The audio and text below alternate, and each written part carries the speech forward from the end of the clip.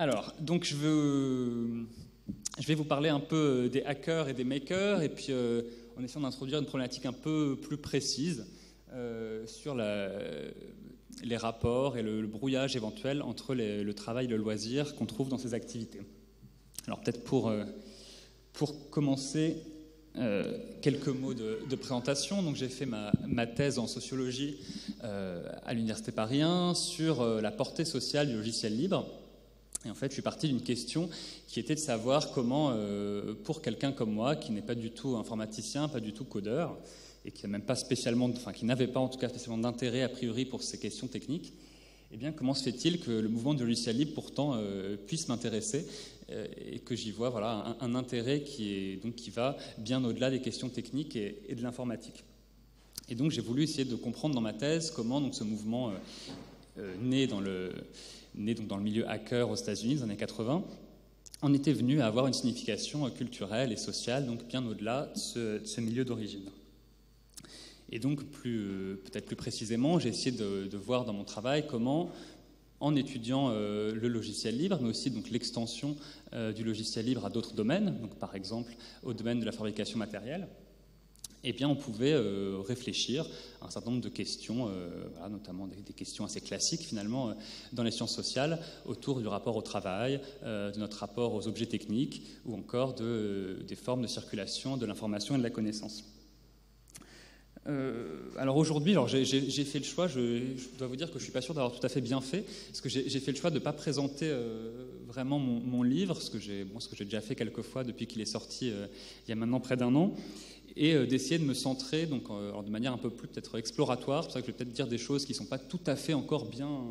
bien, bien sûres. Mais euh, donc, je vais essayer de me centrer sur une question un peu plus précise qui est la question du rapport entre travail et loisir, et donc comment, dans l'activité des développeurs de logiciels libres, mais aussi dans l'activité des makers, on a une manière de reposer cette question euh, du rapport entre travail et loisir, et en fait une façon de brouiller cette distinction, qu'on a pour habitude de considérer comme assez, bien tranchée, avec les temps de travail bien déterminés, des temps de loisir qui sont euh, l'envers exact de ces temps de travail, et eh bien comment en fait cette distinction-là, elle se trouve un petit peu brouillée dans le mouvement des hackers et des makers. Donc je vais essayer d'élaborer un peu cette problématique, mais de voir aussi quelles questions un peu plus concrètes elle pose, notamment la question des formes de professionnalisation de ces activités et, notamment des formes de rémunération des contributeurs. Est-ce qu'on a le droit à une rémunération quand on fait quelque chose qui est aussi un loisir, par exemple? Et enfin, je terminerai par euh, quelques mots sur un,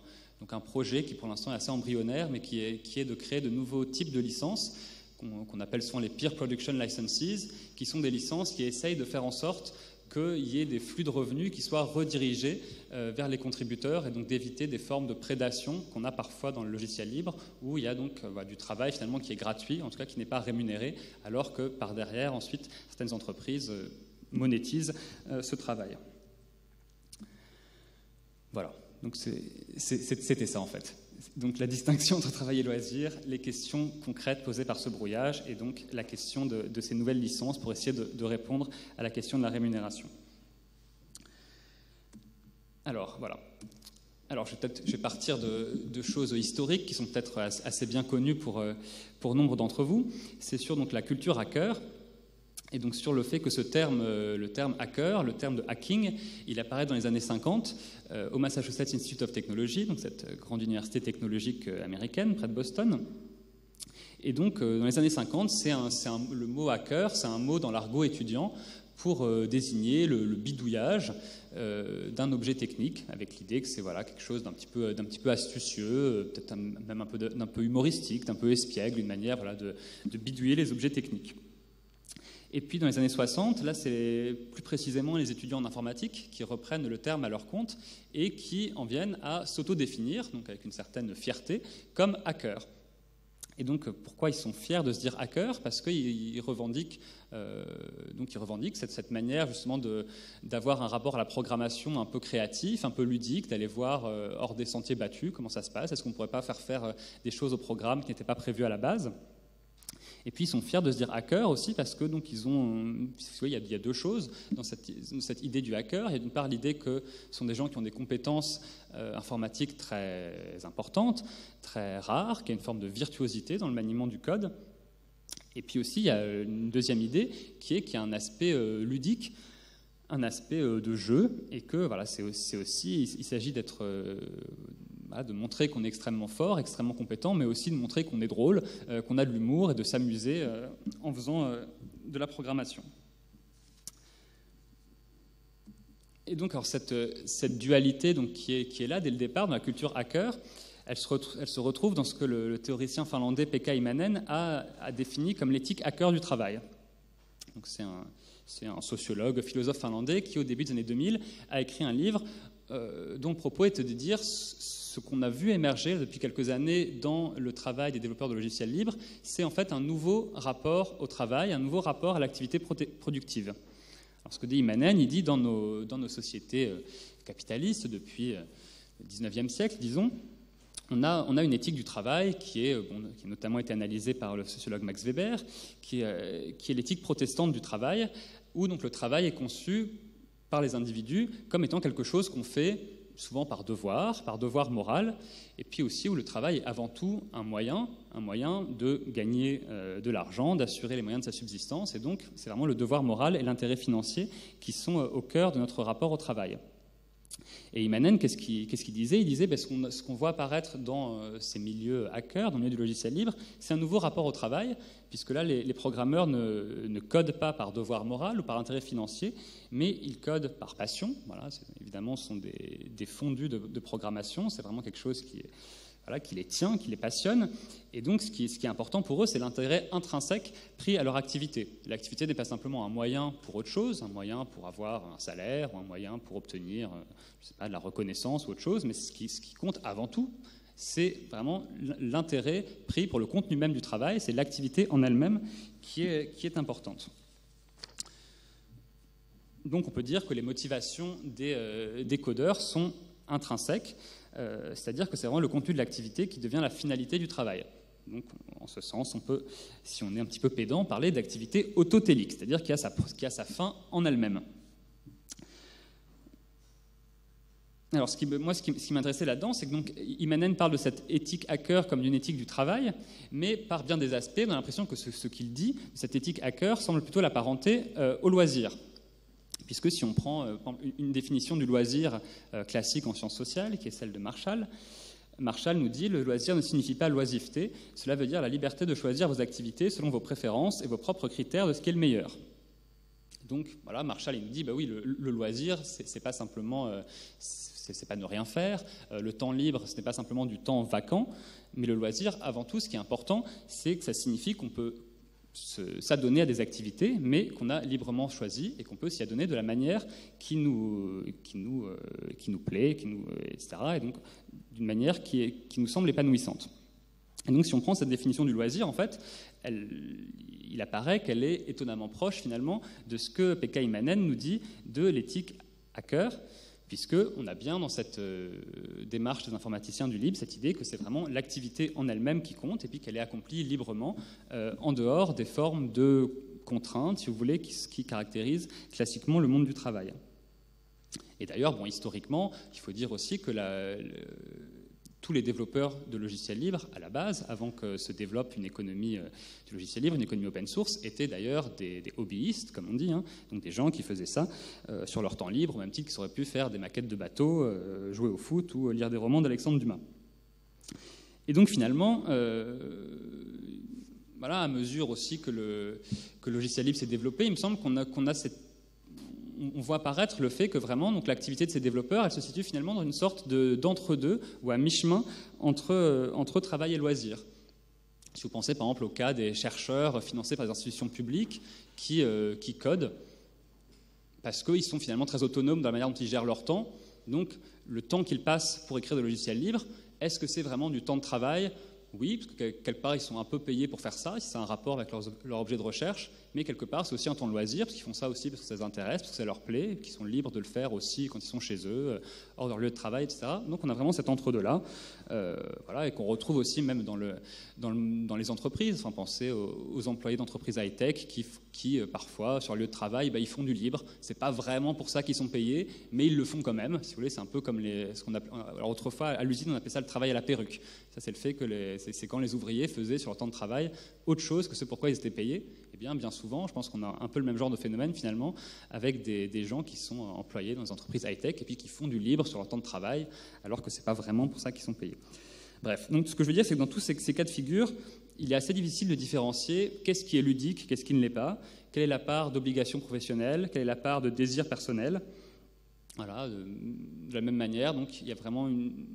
il est parfois difficile de différencier ce qui est accompli sur le temps de travail et sur le temps de loisir, qu'est-ce qui est accompli sur le lieu de travail et au domicile. Bref, on a ce brouillage entre travail et loisir. Est-ce que c'est ce que souligne bien, il me semble, cette phrase de, Stéphane Bortsmeyer qui parle de la programmation libre et qui dit notre travail est gratuit parce que c'est en même temps un temps de loisir. Donc je ne m'arrête pas pour l'instant sur la question de la gratuité, sur laquelle je reviendrai, mais voilà, ce qui m'intéresse, c'est qu'on a bien dans cette phrase cette idée qu'il y a les deux. Il y a le travail et il y a aussi le loisir. Alors, si, je passe maintenant à la, question du, du, do-it-yourself et de la fabrication personnelle, on, peut, dire très rapidement qu'il y, a, plusieurs, euh, si on essaie de faire une sorte de généalogie rapide de ce mouvement, on peut en fait lui voir plusieurs euh, précurseurs ou plusieurs influences. Peut dire qu'il y a une influence de la culture punk, qui n'est pas forcément euh, évidente, mais finalement ce, mot d'ordre, do it yourself, c'est les punks qui, à la fin des années 70, ont été les premiers à, faire, à, refaire leur pardon, ce mot d'ordre, à dire voilà, tout, le monde tout le monde peut faire de la musique, prendre une guitare, euh, on n'a pas besoin de... On n'a pas besoin des grandes maisons de disques, etc., pour faire des choses. On peut le faire nous-mêmes. Donc, do it yourself, ça, a un côté assez punk.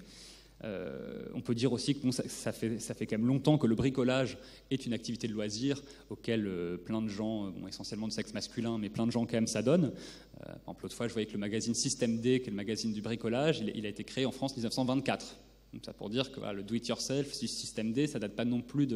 d'aujourd'hui, c'est quand même une chose qui existe depuis longtemps. Et puis dernière, dernière influence que je voulais citer rapidement, c'est le mouvement Arts and Crafts qu'on associe notamment à William Morris. Donc ça c'est, on est euh, au Royaume-Uni à la fin du, du, 19e siècle, et là déjà il y a dans ce mouvement-là une, réflexion sur le, fait qu'il faut euh, lutter contre la standardisation industrielle, ce que, Maurice appelle, ce que William Morris appelle l'âge de l'ersatz, et qu'il faut retrouver donc un, rapport différent euh, aux objets techniques, au design, à la fabrication, etc. Donc autant de choses qu'on trouve aujourd'hui dans le mouvement Do It Yourself. Mais évidemment, l'influence déterminante tout de même, il me semble que c'est la, la, culture hacker, et donc la culture de logiciels libres, de plusieurs manières. Alors d'abord, ce, ce, dont on a parlé à l'instant, sur tous les principes de l'open hardware, donc qui sont une sorte de déclinaison des quatre libertés qui définissent le logiciel libre dans le monde de la fabrication matérielle. Et puis aussi, peut-être avec plus, euh, de manière plus générale et si plus, culturelle, il y a vraiment une influence culturelle de la culture hacker qui est de dire, oui, nous, euh, on en a ras-le-bol d'être dans une posture de consommateur passif de ne pas savoir comment fonctionnent nos objets techniques, de ne pas les comprendre, qu'ils soient des boîtes noires, de ne pas pouvoir euh, les modifier, de ne pas pouvoir les adapter à nos besoins, etc. Donc toute cette réflexion-là sur le rapport à la technique, qui est une réflexion que porte vraiment la culture hacker depuis le début, puisque, euh, comme je le, c'est par là que je commençais, mais le, hack, vraiment, c'est la, bidouille, donc c'est vraiment ça, c'est le fait de dire, mais il ne faut pas considérer les objets comme des boîtes noires, il faut penser qu'on peut euh, les, les, modifier, et ce qui suppose aussi qu'ils soient modifiables, et ce qui suppose aussi qu'on ait les compétences et les savoir-faire pour, pour euh, comprendre comment ils fonctionnent et pour pouvoir les modifier. Et eh bien bref, toute cette culture hacker, ce rapport euh, beaucoup plus actif à la technique, c'est ce qu'on retrouve aujourd'hui évidemment dans le mouvement du do-it-yourself.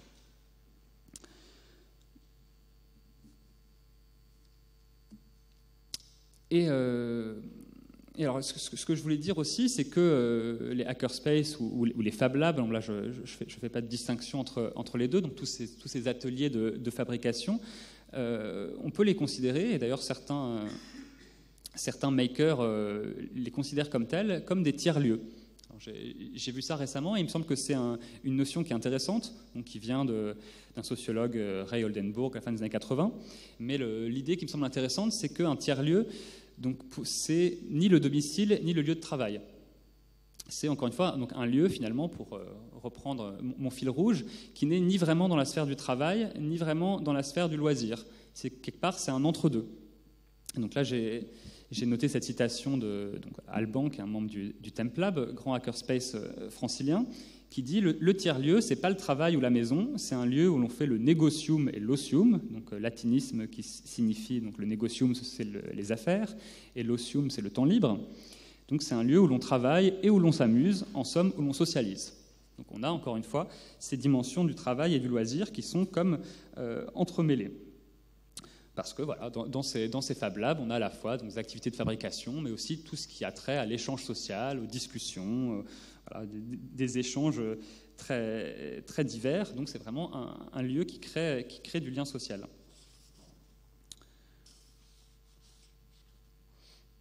Euh,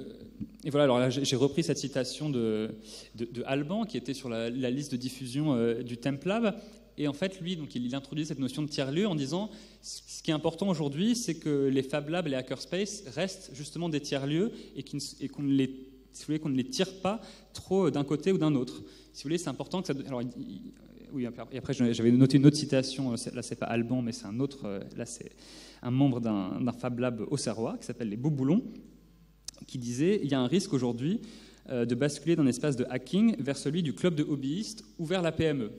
Il disait en gros, il faut que ces lieux, ça reste des tiers-lieux et qu'on ne bascule pas juste vers le club de hobbyistes, la sphère du loisir, mais qu'on ne bascule pas non plus trop nettement vers euh, le monde de l'entreprise ou vers le monde du travail, vers la PME, parce que dans ce cas-là, on, perdra les spécificités du tiers-lieu et on perdra notamment toute cette richesse euh, sociale, cette innovation sociale que représentent les Fab Labs et les Hackerspace. Donc il faut les,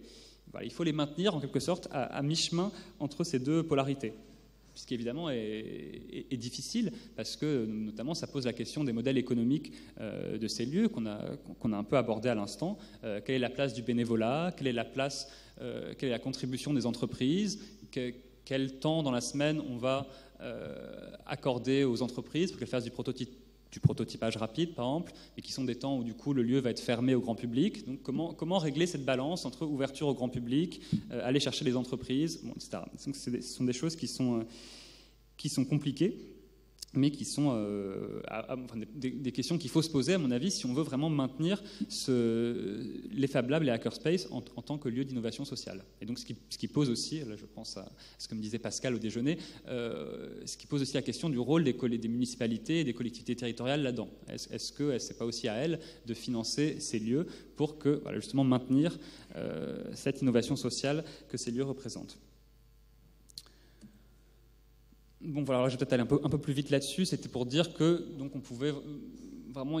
on a souvent la,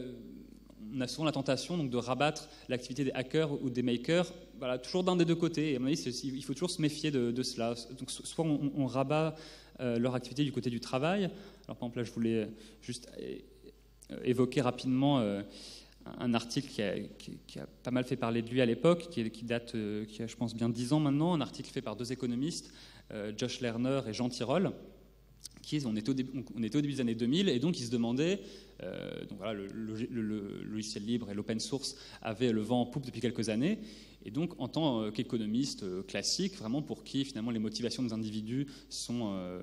de l'ordre du calcul rationnel, où chacun cherche à maximiser son intérêt, il se dit non mais quand même c'est bizarre, ça, semble mettre en échec la, science économique, cette histoire de logiciel open source, parce que comment se fait-il que des milliers de bénévoles acceptent de passer tant de temps et de, voilà, et de, mettre en œuvre leurs compétences extrêmement précieuses et rares sans être payés? Comment se fait-il qu'ils fassent ça, mais alors qu'ils n'y ont aucun intérêt personnel à le faire, et que ça, semble donc mettre en échec cette représentation de l'homo economicus qui ferait tout par, euh, calcul stratégique. Et donc Lerner et Tirol de ce, partaient de ce paradoxe. Ils disaient non, mais en fait, c'est pas si bizarre que ça. On peut, on peut très bien comprendre. C'est bien un calcul d'utilité, mais c'est juste que c'est un calcul d'utilité différé. Qu'est-ce qu'ils font les développeurs? Donc évidemment, ils n'ont pas un intérêt financier direct à faire de l'open source vu qu'ils ne sont pas payés. Et donc à l'époque, le nombre de développeurs qui étaient payés pour faire de l'open source était encore assez réduit. Donc ils n'ont pas un intérêt financier direct, mais ils ont un intérêt à plus long terme parce qu'en faisant ces développements, ils, développent leur capital humain, ils acquièrent des compétences qui vont ensuite pouvoir euh, monétiser sur le marché du travail. Donc c'est un calcul d'utilité différé. Et bon, alors évidemment, c'est une thèse assez habile, hein, mais,